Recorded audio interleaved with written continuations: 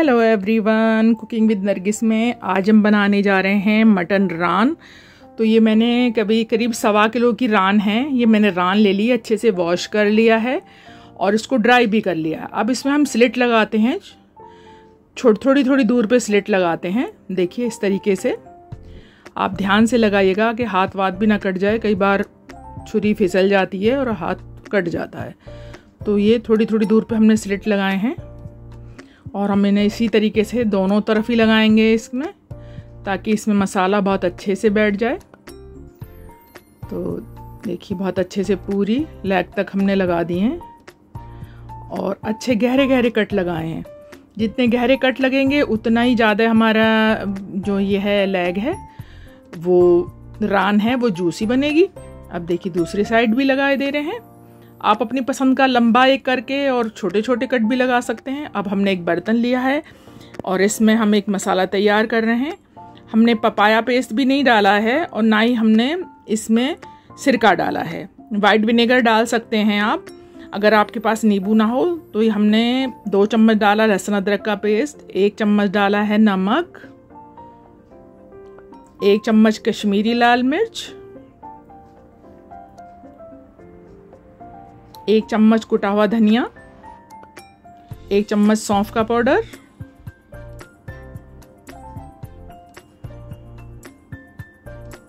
एक चम्मच हल्दी डाली है हमने। हम बहुत ही बेसिक से मसाले डाल रहे हैं, बहुत ज़्यादा तेज़ मसाले नहीं डाल रहे हैं इसमें, ताकि बच्चे बड़े सब खा सकें। ये थोड़ा सा ज़ीरे का पाउडर डाला है, भुने हुए ज़ीरे का पाउडर। आप अपनी मर्ज़ी का जैसे आपको पसंद हो तीखा हल्का वो आप बना सकते हैं। ये मैंने डाला है चाट मसाला। आप अपनी पसंद का कोई भी मसाले इसमें मिक्स कर सकते हैं। मैंने तो बहुत बेसिक से मसाले थे। ये मैं डाल रही हूँ काली मिर्च। एक आपको आइडिया दे दे, दे रही हूँ। बाकी आप अपनी पसंद से कोई भी मसाले और डाल सकते हैं इसमें। ये थोड़ा सा मैंने हल्का सा इसमें और चाट मसाला डाला है। थोड़ा चाट मसाला मुझे पहले कम लगा था तो मैंने थोड़ा सा और डाल लिया है। अब मैं डाल रही हूँ दो नींबू का रस। तो बस अब रस डाले दे रहे हैं इसमें।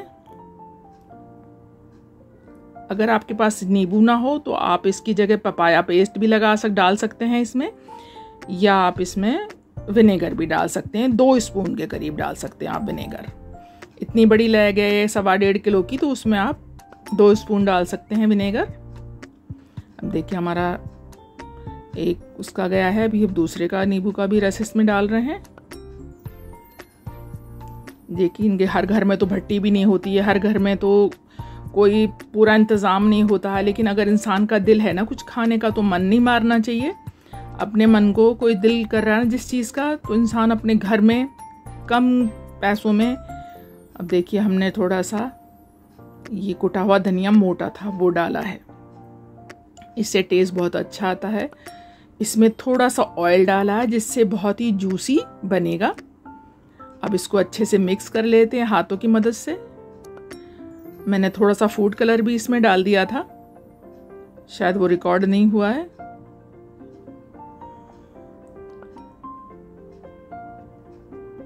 नहीं, अब डाल रही हूँ मैं फ़ूड कलर इसमें। सॉरी मैं भूल गई थी। अब मैंने थोड़ा सा इसमें फ़ूड कलर स्प्रिंकल किया है। अगर आपको नहीं पसंद है तो आप इसको स्किप कर दें। अब इसको अच्छे से मिक्स कर लेती हूँ। बिल्कुल रेस्टोरेंट स्टाइल एकदम से कलर बहुत अच्छा आएगा। देखिए, अच्छे से सब मसाले को हमने मिक्स कर लिया है। जो काम हाथों से अच्छे से हो सकता है ना, वो स्पून से या किसी तरीके से नहीं हो सकता है। हमने रान ली है।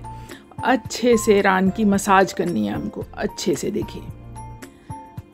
देखिए, इतने अच्छे से मसाज करनी है और अंदर जितने भी हमने स्लिट बनाए हैं, ये कट लगाए हैं, सब कट में मसाले को अच्छे से पोर करना है, ताकि खाने में ये मज़ेदार लगे। और देखिए, हमने इसको बूचर से इस तरह से इसकी लेग जो थी, उसको थोड़ा ऊपर से कट करा लिया था, ताकि लेग मुड़ जाए। अगर लेग नहीं मुड़ेगी तो बहुत मुश्किल हो जाएगा। तो इसलिए देखिए मैंने बूचर से इस तरह से कट लगवा लिया था इसमें और लेग को इस तरह से फोल्ड हो गई है। अब देखिए, अच्छे से हमारे पूरे रान पे हमने मसाला लगा दिया है और इसको हम ढक के रख रहे हैं। पूरी रात के लिए अगर आपके पास टाइम नहीं है तो आप दो घंटे के लिए रख सकते हैं, लेकिन मेरे पास टाइम था। मैंने ओवरनाइट इसको फ्रिज में वापस रख दिया था। तो आपकी मर्ज़ी पर डिपेंड करता है आपके पास कितना टाइम है उसी हिसाब से आप दो घंटे में भी रख के बना सकते हैं। देखिए, हमने निकाल लिया है इसको। ओवरनाइट हमारा ये फ्रिज में रखा रहा है। अब इसको निकाल लिया और हम इसको बनाने वाले हैं कुकर में। तो मेरे पास पाँच लीटर का कुकर है, लेकिन उसका थोड़ा मुँह छोटा है और इसकी ये वो है, हड्डी अटक रही थी। तो मैंने ये बड़ा कुकर लिया है और इसमें ईजी से ये चला गया है। हमने कुकर में इसको डाल दिया है और देखिए फ्रेंड इसका जो मसाले का पानी था, थोड़ा सा हमने इसमें डाल दिया है। अब चलते हैं गैस की तरफ़। तो इसमें गैस ऑन करते हैं और थोड़ा सा इसको गरमाई की तरफ़ लाते हैं इसको, कि थोड़ी हमारा कुकर गरम हो जाए। तो हमारा कुकर गरम होने लगा है।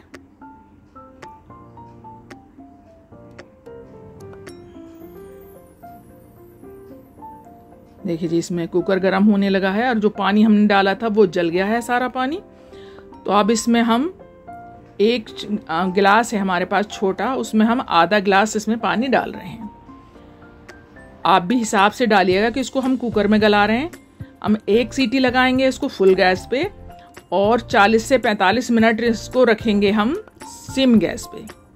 तो क्योंकि ये बड़ा पीस है और रान थोड़ी सी सख्त भी होती है तो रान को वैसे सॉफ्ट गोश्त होता है बकरे का तो। तो ये गलने में 40 से 45 हम बिल्कुल सिम गैस पे इसको कर देंगे। तो हमने देखिए अच्छे से उसमें गर्माई आ गई है। और जो पानी हमने डाला था वो भी जल गया है इसमें देखिए। देखिए बहुत थोड़ा सा बस नीचे लगा हुआ है मसाला टाइप। देखिए हमने आपको बिल्कुल दिखा दिया और हम इसको हिला के भी दिखा रहे हैं आपको। अब इसमें हम पानी डाल देंगे। हमने आधा गिलास पानी डाला, एक गिलास लिया था, लेकिन आधा गिलास हमने बचा लिया है। अब बस इसमें ढक्कन लगा रहे हैं। इसमें स्टीम जल्दी बनेगी को हमने पहले से ही इसको गैस पे रखा हुआ था। बस फ्रेंड मिलते हैं आपसे। एक सीटी हमारी फुल गैस पे आ जाएगी। तो हमें 45 मिनट बिल्कुल एग्जैक्ट टाइम देख के हमने इसको लगाया हुआ है।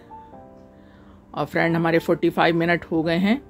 और देखिए, इसमें इतना पानी है थोड़ा सा पानी है, लेकिन इसको हम फुल गैस पे इस पानी को ड्राई कर लेंगे। ये बहुत ज़्यादा लेग को चलाएँगे नहीं, थोड़ा हिला सकते हैं ताकि लेग जल ना जाए। ये चाप हमारी सॉरी ये जल ना जाए, इसलिए थोड़ा सा बस। अब देखिए, हमने इसको अच्छे से ड्राई कर लिया है। और थोड़ा सा देर इसको रखते हैं। बिल्कुल ड्राई हो गया है। जो पानी था फुल गैस पे, हमने इस पे ही डाल डाल के पूरा कम कर दिया है। देखिए, कोई लगा भी नहीं है और कोई पानी भी नहीं बचा है। और बहुत शानदार सा हमारा बिल्कुल गल गया है। देखिए, इतना अच्छा कुक हुआ है मटन हमारा कि बिल्कुल बहुत सॉफ्ट मटन तैयार हुआ है। आप इसी तरीके से बना के देखिए कि देखिए, हमने फॉक की मदद से इसको हटाया है। बिल्कुल देखिए, एकदम से इशारे से टूट रहा है। इतना सॉफ्ट हो गया है। तो बस, अगर आपके पास कोयल है तो इसमें डाल के इसको आप धुआँ लगा सकते हैं। हमारे पास कोयल नहीं अवेलेबल नहीं था इस वक्त। तो हमने जाली रखी है। जाली तो सभी के घरों में होती है। कुछ घरों में रोटियाँ सेकने के लिए भी होती है। बस हम इस पर रख के हल्का सा बटर लगा के इस पर रख के, और इसको देखिए, मैंने इसके जहाँ पे हड्डी थी, बहुत गर्म तो मैं कैसे पकड़ती तो मैंने वहाँ पे सिल्वर फॉइल थी मेरे पास, वो मैंने लगा ली है। तो देखने में भी अच्छी लगेगी और सेफ्टी भी रहेगी। तो इसको हल्की गैस पे, इसको स्मोकी फ्लेवर देने के लिए दोनों तरफ़ से अलट पलट के सेके लेते हैं। देखिए, इसी तरीके से देखिए, कितना अच्छे निशान आ गए ना। इसी तरह से हमें निशान चाहिए। अगर आपके पास भट्टी है तो आप भट्टी भट्टी वैसे अब लगभग सभी घर, मेरे घर में भी है भट्टी, लेकिन उसमें बहुत झंझट है, उसको कोयले जलाओ, ये करो, वो करो, लेकिन ये इजी से है और ये हर घर में सब कुछ अवेलेबल होता है। तो इस तरह से आप तैयार करिए, अगर आपको मेरी रेसिपी पसंद आती है तो प्लीज़ मेरे चैनल को सब्सक्राइब लाइक शेयर ज़रूर करिएगा। दुआओं में याद रखिएगा और मुझे इंस्टाग्राम पे भी फॉलो करिएगा और इस तरह घर में रान बनाइएगा, आपको, आपके बजट में भी पड़ेगी और पूरी फैमिली आपकी एक रान में बहुत पाँच से सात, आठ लोग आराम से खा सकते हैं। देखिए, इसको सेकते सेकते ही ये मतलब देखिए लेग पे से जितने भी हड्डी नज़र आ गई है बिल्कुल, कि वो पीसेस इतने अच्छे गल के और वो हटने शुरू हो गए और देखिए सर्व कर रहे हैं। हमने सैलड लिया है थोड़ा सा प्याज, टमाटर, गाजर, सारे सैलड लिया है और नींबू भी रखा है साथ में। तो बस नींबू डालिए और खाइए और मुझे कमेंट्स करके ज़रूर बताइएगा। आपने रान बनाई है कभी या नहीं बनाई है तो आप ज़रूर ट्राई करिएगा।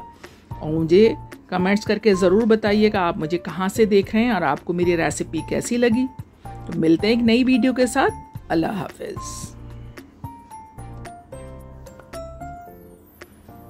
देखिए, कितना सॉफ्ट हमारा मटन बिल्कुल सॉफ्ट है, देखिए। बिल्कुल मोम की तरह एकदम से सॉफ्ट, गला हुआ जूसी बहुत ही टेस्टी बना है। इंजॉय